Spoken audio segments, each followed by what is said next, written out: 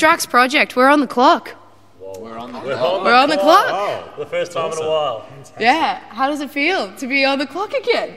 Man, well, you know, it's good to be here. It's good to be on the clock. It's been a while off the clock, and now we're on the clock. It feels good.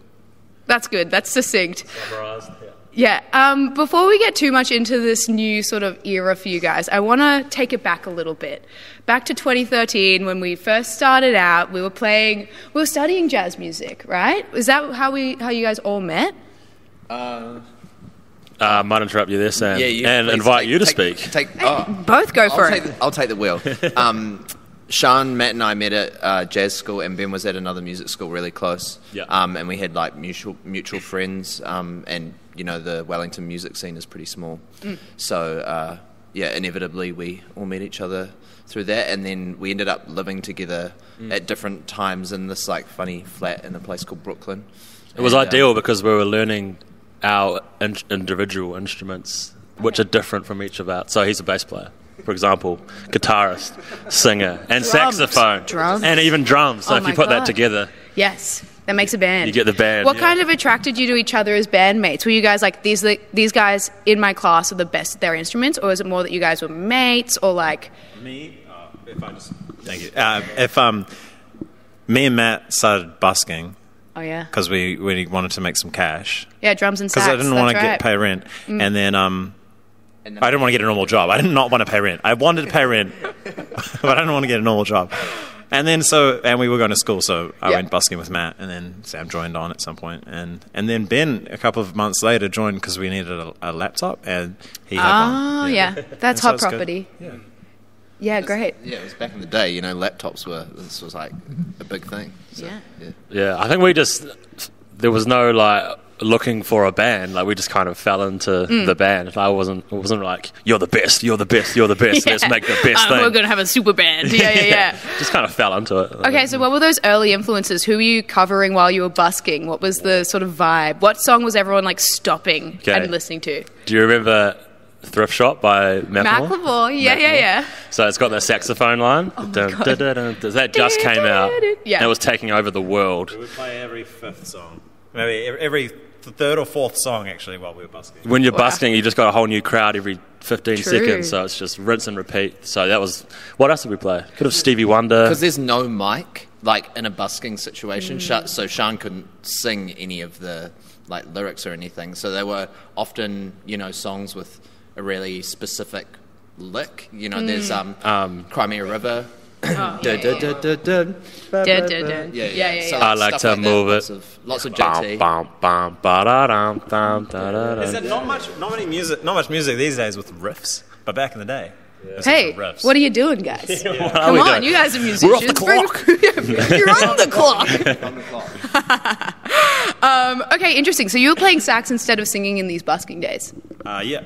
Yeah. Yeah, but I, that's what I did originally. Yeah, yeah, yeah. So when did it switch over to being more like legitimized as a band? We're making an EP. We're putting out singles where Sean you're singing and like. Pretty much when Ben, uh, when Ben joined. Okay. Yeah, we'd, That written, laptop. we'd, writ- we'd written one original song before Ben joined, and it's very average. So yeah.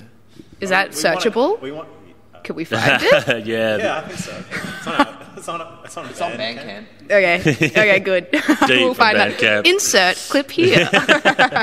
Let's do something real. 'Cause um, okay. We fast forward 2017. Um, you drop the track that kind of sends you global. Woke Woke Up Late, yeah, That's it. Yeah, yeah, yeah. What was that groundswell like? When did you realize that this was getting listened to? It was kind of sending you onto this international radar. Obviously, like hooks you up with opening act slots. What what was going through your minds? and Mm. how old would you guys have been at that point? It's a good question. I might get Ben in on this. Seven or eight? Yeah, yeah, yeah. No, He's- it was. Yeah, but, uh, Ben's, Ben's, I think we might have been about yeah, hasn't like 22 or something. Yeah, I can't. Yeah, 20, 20 early early Yeah, okay. But it was um it was weird because woke up late when we were writing it. We were writing an album, and that song was just kind of just one of them. We didn't Mm. think that it, it was that good, and it just happened to be the first song that we finished. So we were like, oh, we should probably put a single out. This one's this We one's liked done. it. Yeah, we liked it. We were like, oh, we'll put it out, see what happens. And it just took off, and it was like number one in Shazam in New Zealand for like three months or something. Right.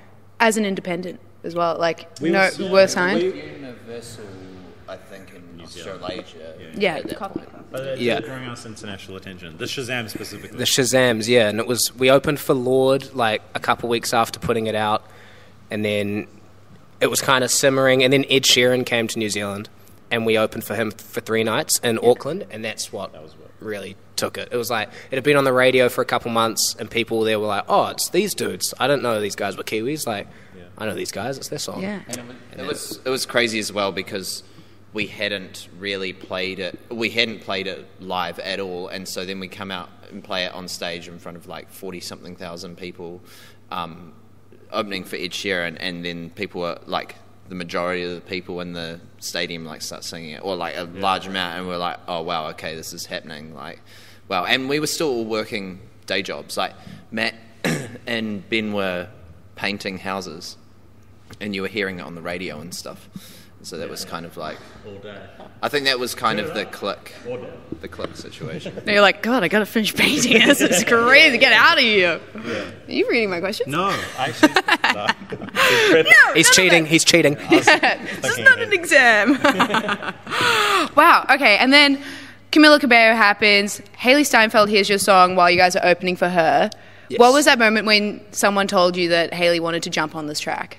It, that's ex- it's exactly that as well. Managers came into our studio one day and was just like, Sit down. Ah, Firstly, he said sit down. He said, "Sit down. You're gonna need to sit down." with us." Lie Is down. it- Is it how would you f- guys feel about Hailee Steinfeld singing on "Woke Up Late"? It was just like, get off the grass. What you, we didn't loved believe. Starving as well. That was like mm. one that we were slamming at the time. Yeah. So it was like, that was pretty cool. Yeah, I'm interested to know by at this point, like you guys have come from a jazz background. You're making this pop music with a sort of R&B element in it. Um, obviously has jazz influence, but you're also building this kind of like boy band space. Was that something hard for you to own? Like I know that pop music easily accessible, jazz music probably one of the least accessible. Sometimes indulgent, one would say. And then pop also stigmatized. Like people don't want to be like I'm a pop artist. People are like I'm an alt pop artist. I'm an indie pop artist. I'm a rock pop artist. But like to build something like that was that hard for you guys to be like, "Oh no, actually, we do pop. We like like to do a bit of choreography, see the crazy dance clip, like you know, like music video, I should say. But like, It was that interesting that relationship? it was something we had to come to terms with because we were quite confused. Especially just like we started while we are still at music school, and like mm. pop was such a dirty word. Like it was Yeah. like, no, we're not, we'll put a key change here. We're like, oh, it's not complex enough. We've got to change it. And it was kind of just through playing gigs and writing songs, Working with other people. working with other people, like getting advice and stuff. Like Also, like like playing covers Playing and covers, realizing yeah. like what a cover does to a crowd compared to original they've never heard. It's like, man, I want to have that feeling of like making like the Cry Me a River drop. Yeah, like, yeah. Look at these people go off. Like, let's try and make something like there that. was a moment though where we d- did have to just look in the mirror and we're like, we're a pop band. We're writing pop music. Let's go for it. Let's do Yeah, it. and we kept trying to put in like little bits that were like, "Oh, look what I can do," you know.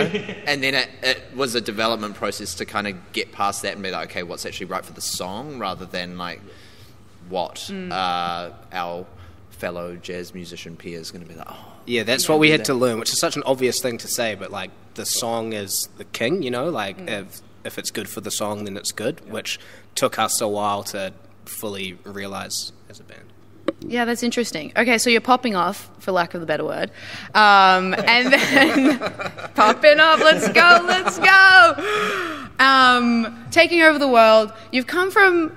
I always wonder this personally. I'm originally from Brisbane, which is like smaller than Sydney. I've always thought, man, I wonder what would have happened if I grew up in LA. Do you find growing up in New Zealand was a hindrance, or do you think it's helped to have that point of difference?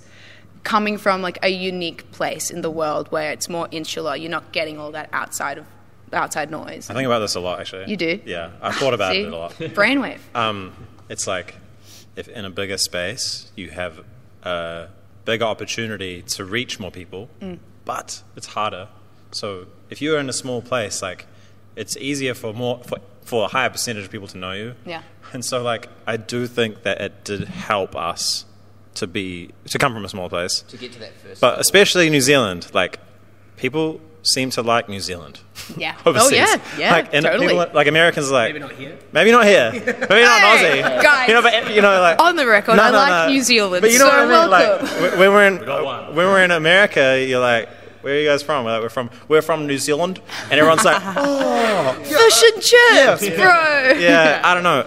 It, it genuinely does help. Like I don't know. It's it's something to it be. helped us anyway. Yeah, mm. and like we were we were trying to do our thing internationally always. Like it mm. wasn't like we were like let's get huge in New Zealand. It was like we just want to be as big as we can. Mm.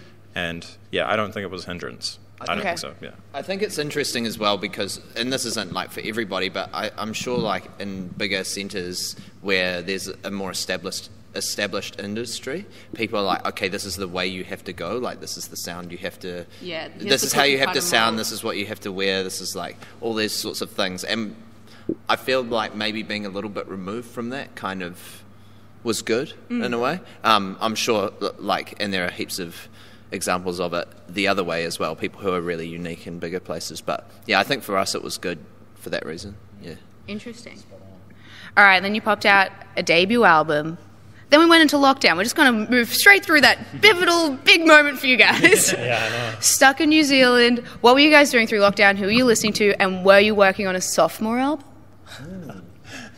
I've never heard that word used with us before. It's quite funny. Sophomore So- album. sophomore album? I kinda like that. Second album for Maybe uh, yeah. we we just honestly we like took the opportunity to um, relax. just like work as much as we could. okay. and, like- were you back at the day jobs? Nah, we're, we were very we're very lucky we're to get there. to a point. You know, we got to the breaking point. We could, Yeah. we, could coast along. Yeah. Um, but it was weird. You know, it was weird.